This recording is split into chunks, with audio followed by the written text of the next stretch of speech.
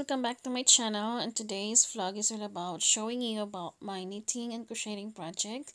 So guys uh, i work at NLCS jeju a british school for about nine years now. I've been working there and um, the school has been famous for having these co-curricular activities in short a CCA and I've chosen this CCA knitting and crocheting project for I believe the students will be able to enjoy it learn it and they will improve their uh, hand and eye coordination. So these are the samples project that I would like to show to the children uh, small beanie hat sweater and the first one that you saw in this video is the tote bag and I believe the children will be able to make it.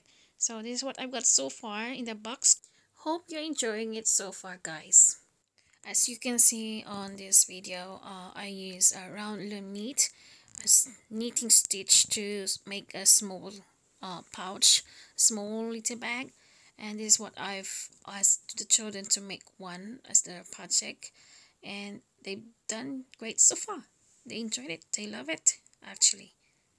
And today's vlog is all about showing different kind of projects using this loom round for knitting and using this circular needles for different kind of stitches knitting stitch or purl stitch. And also using this crochet hook for different kind of stitches.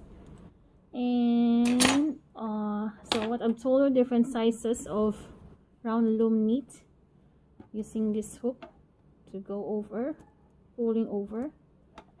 And this this the projects that the students have been made so far in my CCA because they they registered CCA in my class and I've got 40 students but only 27 students have been making this uh this mini small little bag.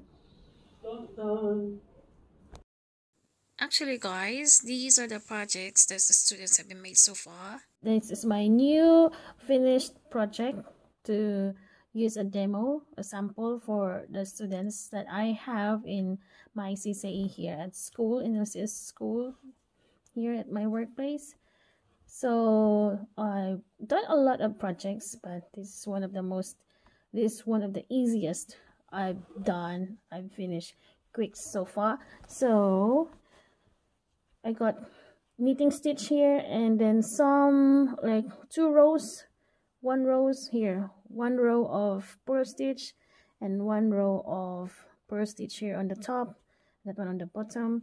So and the rest is all about knitting stitch and then I added this one the string with tassel at the end to go and wrap around and to tie this little mini tiny pouchy bag.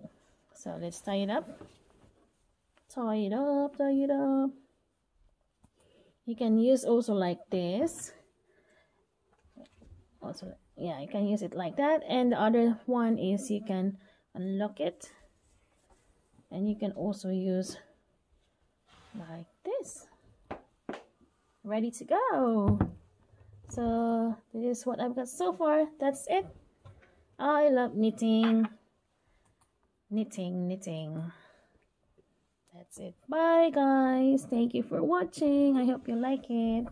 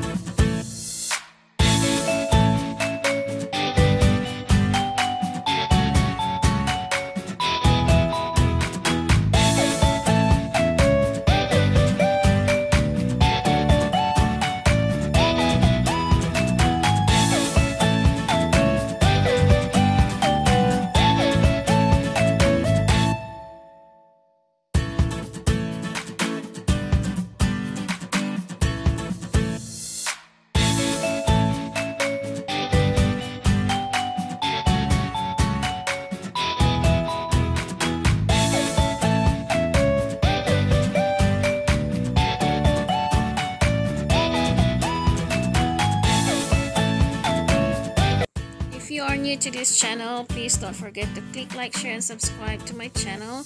And I'll see you next time on my vlog guys. Thank you so much. Come again. Thank you.